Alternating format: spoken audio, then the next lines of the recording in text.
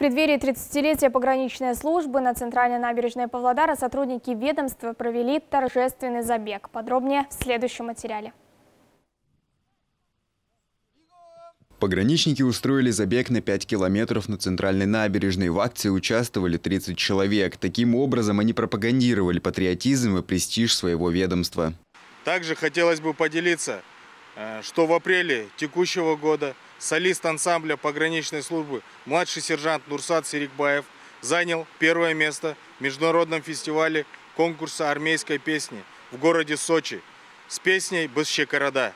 Слова встречи отражают мужество, стойкость воинов границы, их готовность любую минуту э, стать на защиту территориальной целостности и безопасности государства.